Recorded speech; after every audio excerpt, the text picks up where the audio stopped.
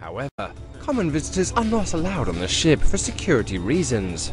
Only official delegations are admitted.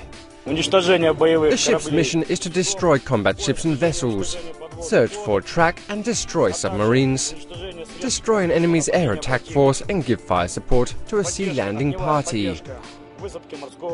Equipped with formidable weapons, the 100mm gun with a range of up to 20 kilometers can literally slice an enemy ship in two, the Kashtan-M system protects against hostile high-precision weapons and aircraft and helicopters, while the Uran E system can destroy enemy ships that have a displacement of up to 5,000 tons. You can see that the missile system installed here is different from the one on the first vessel.